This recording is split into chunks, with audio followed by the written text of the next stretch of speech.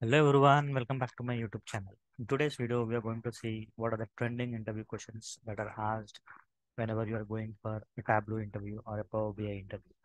So if you're someone who is planning to attend interview or if you're someone who is attending interview, then this video is definitely for you because often it happens that you know in every interview that we go, there are certain questions that are asked in Tableau and there are certain questions that are asked in SQL as well.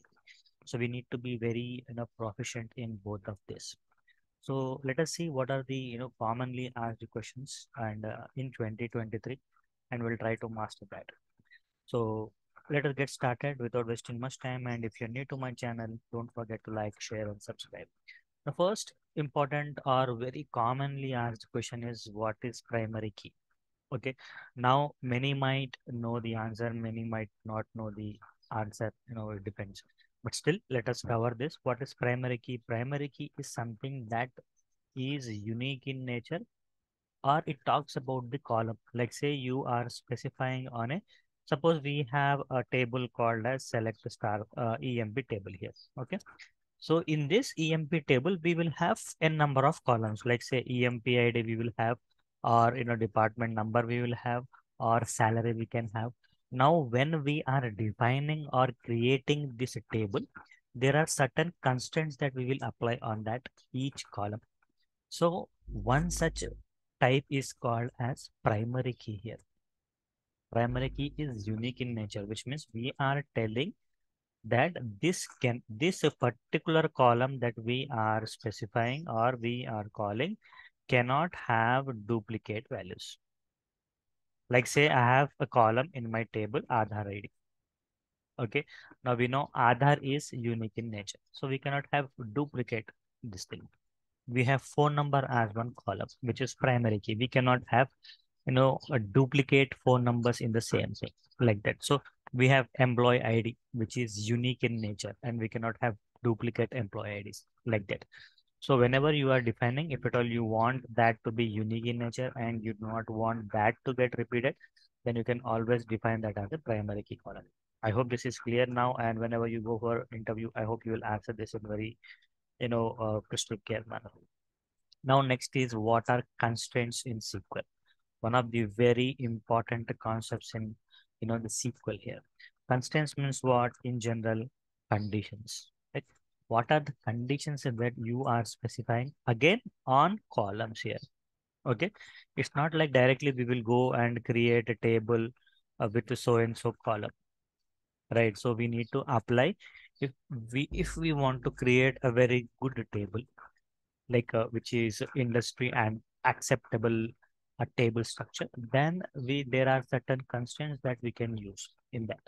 Like say, you know, we have a check constraint is there, okay, or you know, we have a primary key, unique constraint, or not null constraint okay like this. So what are these constraints? This specifies that this is satisfies the condition. Check check constraint if you are specifying then it tells that you know whatever the condition that you are specifying in that it satisfies that condition the particular column so unique constraint means you are telling that you know it is unique in nature or that particular column is unique in nature not null means you are telling that you know that particular column cannot have a null value in that. Like say, I have a date field here, okay? And I want to specify that this column cannot be null. Like say our order date is there, ship date is there and all. So while defining only, I'm clearly giving a statement that Kibos, this field cannot have a blank value. Then you can specify that as a not null constraint. So whenever you are entering a value or when there is no value coming in, it will throw out an error.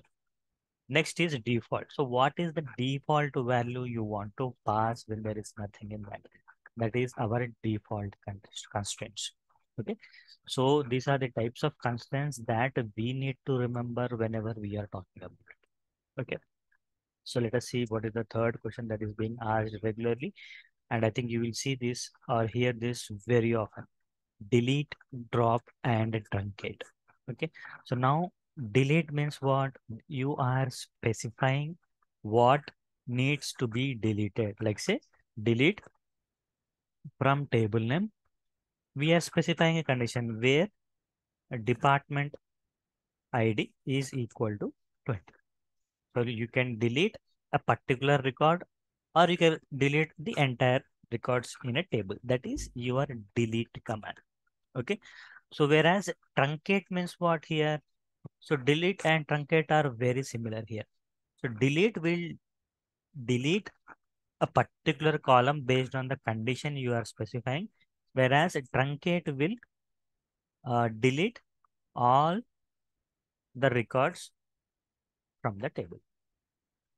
Now, what is here, what is important here to remember is what is happening to your table. That is what is important when we are talking about delete, drop or truncate.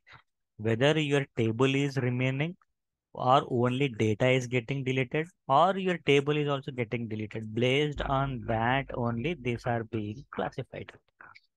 In delete, it is only based on specific condition that you are specifying, right? Truncate means all the records of the table now. Now I'm not talking, I'm not telling that it will also delete your table. No, only the data in that it will remove. Next is drops. This will entirely drop your table with the data.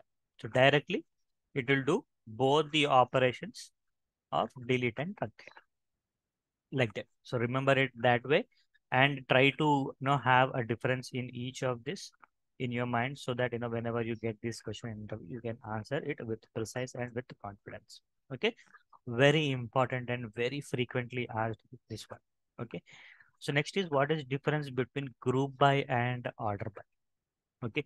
Like say I want to find out how many you know male uh, employees are there and how many female employees are there in an organization. If at all I want to find out count here.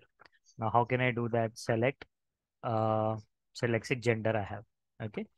Gender comma count of EMP ID from gender underscore table. Group by what? Group by gender. Now assume in this gender uh, column, I have two records, two types of records, either male or female. Now what will happen for every record? It will try to group by on this and it will give a count. Likewise, I am take, taking an employee table here to show you the difference and we will see how it works here. Okay, so let us see that and I'm just running select star from EMP table just to show you what the records that I have here.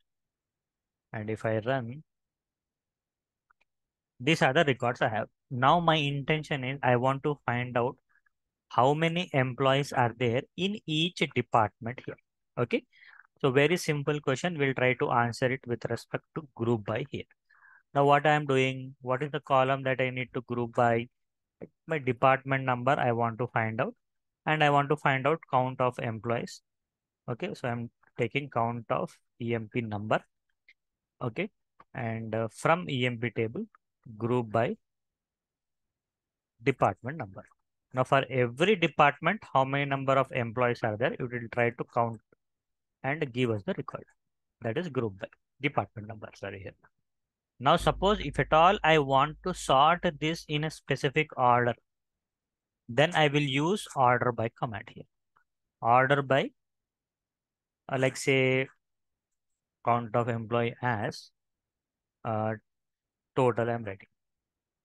Okay. Uh, so I here I'll take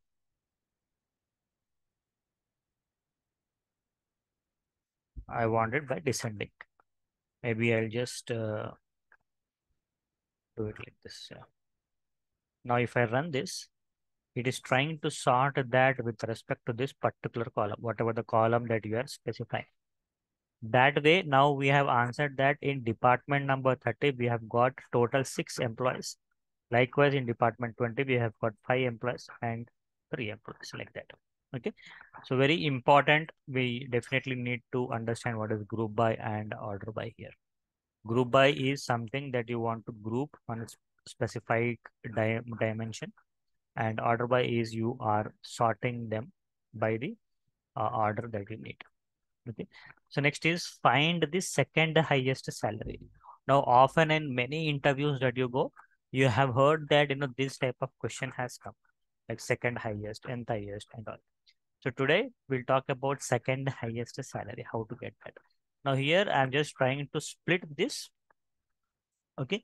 And uh, so what what will happen in this query is first this will get run. Suppose i have records like say 10 20 30 40 and 50 okay assume this is my salary. Now what will happen whenever i run this command maximum salary will get will be selected okay? So which means what? I'll get 50 from this okay? So here i'm just writing it as 50 just to remember. So from this i'm getting here. Now to this this is a result of this. Now uh, this query will run and get the result. Now select max salary as salary from emp table. Now first 10 will come. Is 10 equal to 50 or 10 not equal to 50 true. Like that everything will executed and we will get 40 here. So this record will be picked this record will be picked this record will be picked this record will be picked. So 50 is equal to 50 so this record will be skipped now from these four records what is the max salary we have it is 40 so this is we got second max salary from the result that is how we can evaluate this simple select query. So obviously you can write in multiple ways, but I, I thought this is the most easiest and you can definitely try for alternate approach. So next is again one very tricky question that is asked in many interviews. How many joins do I need when I have n tables? This is one important question that is asked just to confuse it. Suppose I have two tables assume I have two tables, A and B. So how many joins will I make? I will be making only one join. If I have three tables, I'll be making two joins. If I have four, I'll be making three. So simply remember it as this. So if he's taking how many joins I will need, I can say n minus num one number of joins we need. Okay. So how will you find duplicates in a table. Simple. So using the same thing that how we have found the duplicates, we can use this to find the duplicates in a table. Next is again find second highest salary in each department. Again, this is little interesting. So for that, first what I'm doing is again, I'm running select star from EMP table. Okay. To get the records we need. Now for each department that we have, I need maximum record. Okay.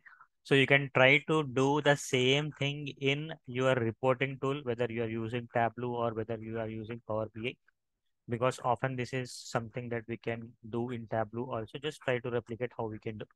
That will just bring you hands-on. And what I'm doing is I'm using a simple rank function here. Okay. So first I'm taking all the records. Okay. And then I'm just using rank over this partition by department ID I'm using because with respect to department, I need to rank my salaries and order by salary.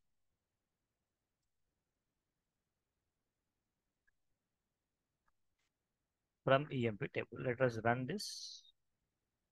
Okay, now observe what is happening here. So for each department, see here, I have department 10 till here. So for each department, it is trying to give rank here. One, two, three. Again, for department 20, it is starting. One, two, three. Okay. Now see here, here we have a problem or an issue for fourth record and fifth record. We got the same salary. So in that, what is happening here? The salary is repeating. Now we might need to use a different types of different type of rank function to solve this. But technically what is some uh, that that we need to understand here is how it is generating this rank for each department. So I will use dense rank here. Okay. And I'll simply try to run it again. Now observe the difference. What will happen when we have same record here? Now see here. Same we got. Okay, or maybe rank. Uh, we need to use I think rank unique here.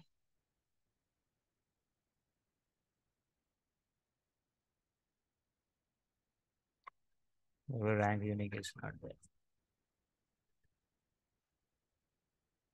Okay, so that way we can sort and on top of this, if we apply, like we need second highest, rank is equal to 2, then we will get the desired result here. Okay, from EMP where Rn is equal to 2.